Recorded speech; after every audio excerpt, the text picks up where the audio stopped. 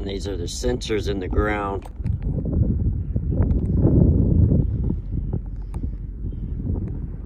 Go to that truck.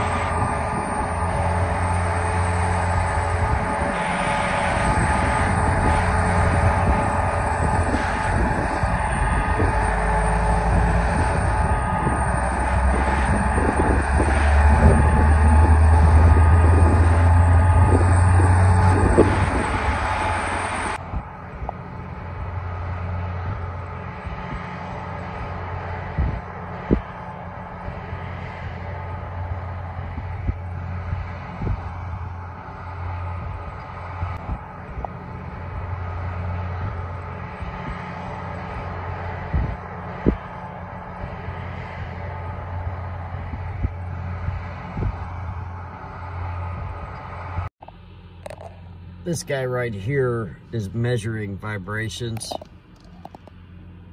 It's, uh, I believe, 300 feet. So anything inside of 300 feet, you hire these guys and they measure vibrations. That way, if somebody says, "Oh, you messed up, messed up the stuff," you have the data to show that no, it wasn't possible.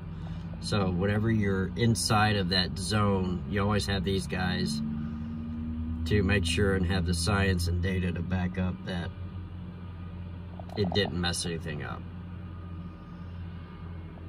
Like I can't even, I really can't even feel anything where I'm at right here.